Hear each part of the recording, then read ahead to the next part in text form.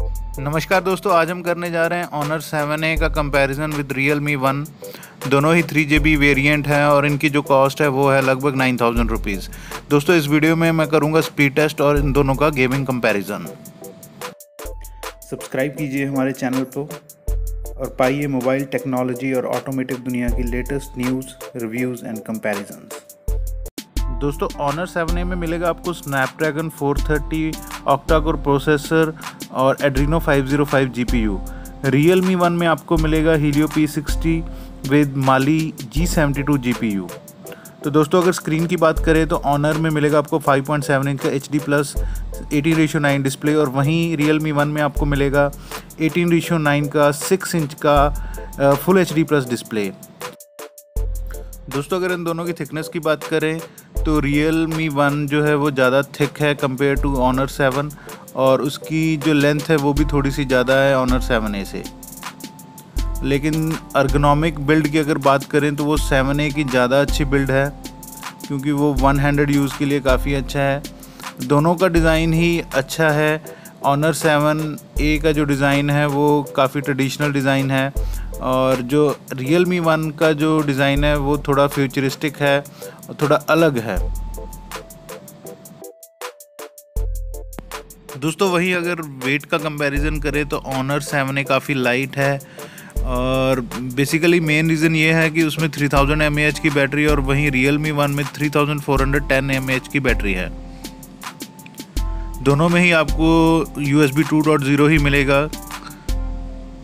दोस्तों एडवांटेज एक जो ऑनर सेवन ए का वो है कि इसमें आपको फिंगरप्रिंट स्कैनर मिलेगा। लेकिन ऐसा कोई फीचर फिंगरप्रिंट स्कैनर का रियल मी वन में आपको नहीं मिलेगा। दोनों ही फ़ोन्स में आपको फेस अनलॉक का फीचर मिल जाएगा। दोस्तों, अगर आप लेना चाहते हैं सेवन ए तो ब्लू कलर को चूज़ करिएगा और रियल मी वन अगर लेना चाहते हैं तो डायमंड ब्लैक ज़्यादा अच्छा है दिखने में। दोस्तों let's start with the speed test दोनों ही फ़ोन्स को मैं रीबूट करता हूँ और रीबूटिंग से ही हम इसका स्पीड टेस्ट शुरू करेंगे। दोनों ही फ़ोन्स को मैंने शट डाउन कर दिया है। अब रीस्टार्ट करते हैं। वन टू थ्री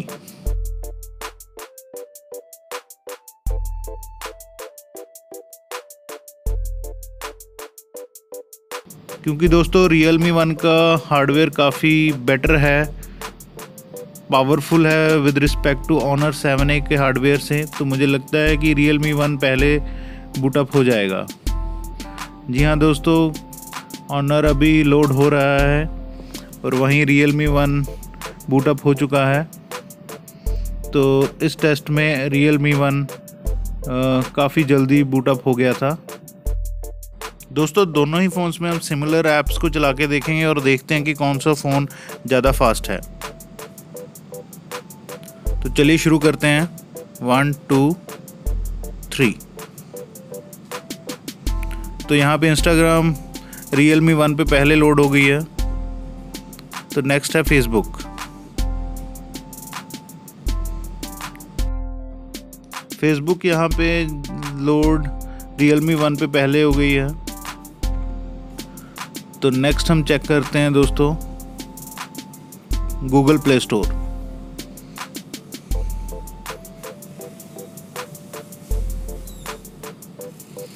तो प्ले स्टोर ऑलमोस्ट दोनों पर सेम ही स्पीड से लोड हुआ है तो इस ऐप में तो दोनों ने सेम ही टाइम लिया नेक्स्ट इज़ यूट्यूब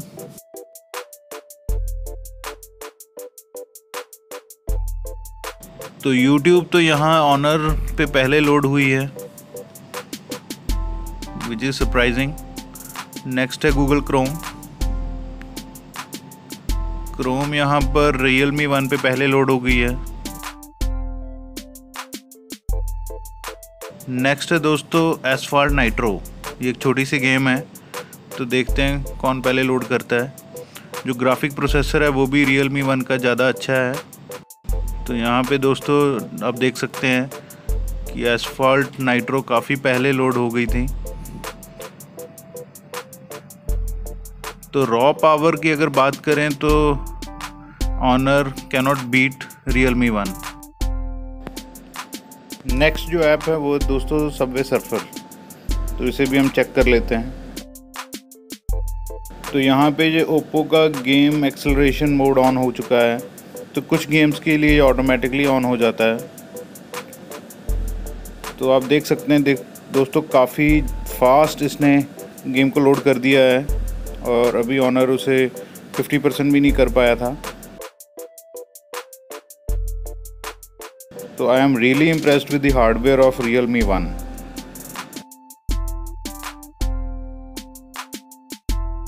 तो दोस्तों overall Realme one is a faster device तो अब हम इसकी रैम ऑप्टिमाइजेशन भी चेक कर लेते हैं। तो इंस्टाग्राम दोनों में ही अभी तक लोडेड है। फेसबुक भी दोनों ही डिवाइसेस में अभी तक रैम में लोड ही है।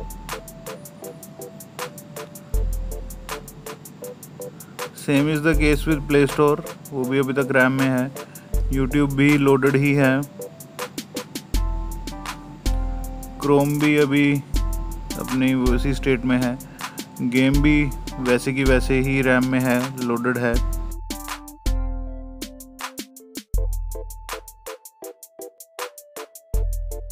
सबवे सर्फर भी दोनों ही फ़ोन्स में अवेलेबल है।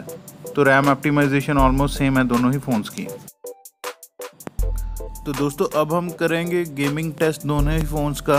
तो पहले ऑनर पे हम थोड़ी सी लाइट गेमिंग करके देखते हैं। ये एक एसफॉल्ट नाइट्रो है, जो कि अबाउट 40 एम की एक गेम है।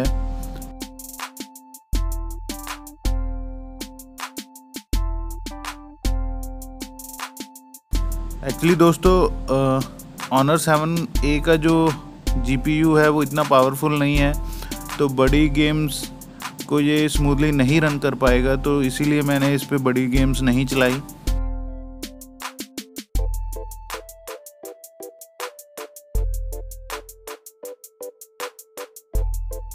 थोड़ा सा आउटडेटेड हार्डवेयर होने के कारण ये ज़्यादा टाइम ले रहा है इसे लोड करने में।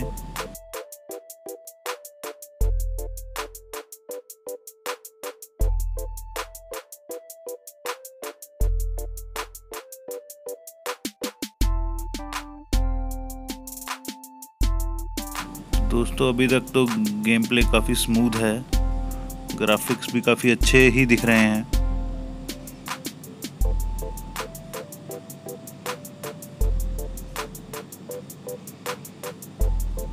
कंट्रोल्स हैं जो गाड़ी के, वो इतना अच्छा नहीं मुझे महसूस हो रहा। तो जो इफ़ेक्ट्स हैं, वो काफ़ी अच्छे लग रहे हैं।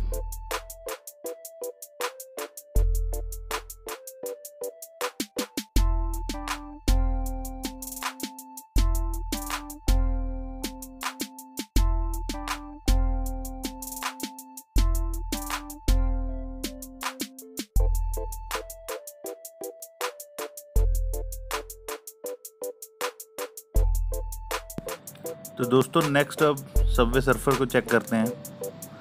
सबवे सर्फर कैसे चलती है इस फ़ोन के ऊपर?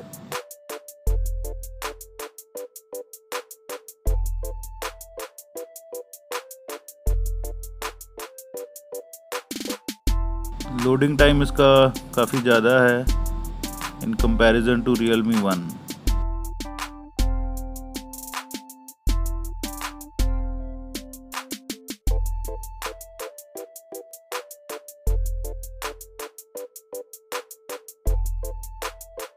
colours काफ़ी अच्छे हैं डिस्प्ले के। डिस्प्ले की क्वालिटी तो काफ़ी अच्छी है और ब्राइटनेस भी काफ़ी है।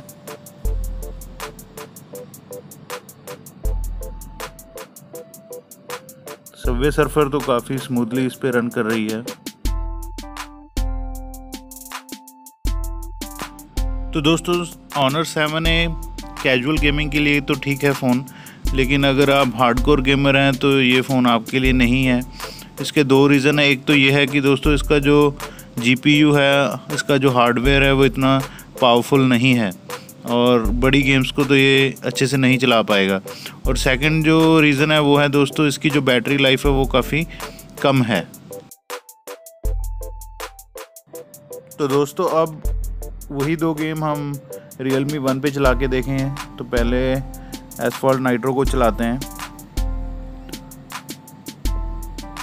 तो इसमें काफ़ी फटाफट से ये लोड हो गई है।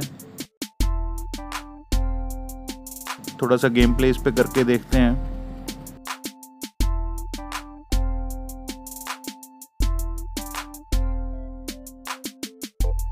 दोस्तों गेमिंग के लिए स्मार्टफ़ोन काफ़ी अच्छा है।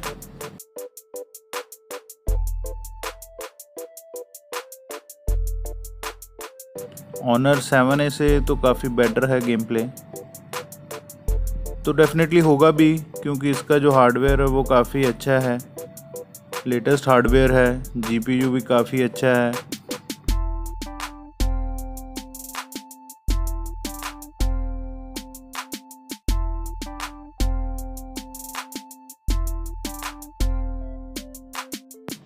दोस्तों रियल मी वन का हार्डवेयर डेफिनेटली कैपेबल है। वो अब बड़ी गेम्स को बड़ी आसानी से चला देता है। तो इस वीडियो में मैं आपको वो नहीं दिखा पाऊँगा, क्योंकि अगर वो दिखाऊँगा तो वीडियो बहुत ज़्यादा लंबा हो जाएगा। तो गेमिंग परफॉर्मेंस के ऊपर मैं एक डेडिकेटेड वीडियो बनाऊँगा रियल मी वन की। तो उसे आप देख लेना मेरे चैनल पे। उसे देखने के लिए काइंडली सब्सक्राइब करना मत भूलिएगा मेरे चैनल को।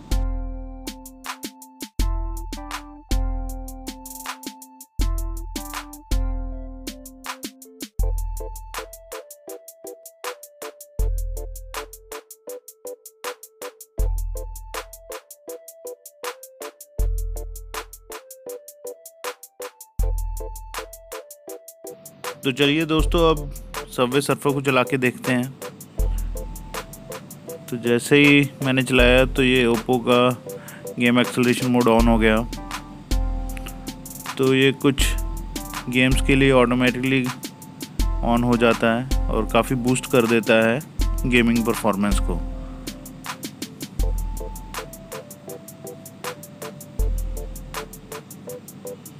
गेम प्ले काफ़ी स्मूथ है। सबवे सर्फर पे। तो दोस्तों, आज के कंपैरिजन का जो विनर है, वो डेफिनेटली रियल मी वन है। तो इसके दो तीन मेन कारण ये हैं कि इसमें बेहतरीन हार्डवेयर दिया गया है और काफ़ी अच्छी डिस्प्ले दी गई है इसकी। दोस्तों, इसकी एक जो कमी वो ये है कि इसमें फिंगरप्रिंट स्कैनर नहीं मिलेगा आपको। तो दोस्तों, आप मेरे से भी बेटर जज हैं। तो आप इस कंपैरिजन टेस्ट के बारे में क्या सोचते हैं, वो ज़रूर पोस्ट करना कमेंट सेक्शन में।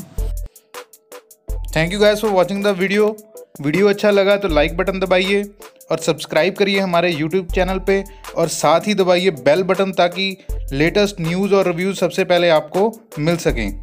Thank you guys for watching the video धन्यवाद।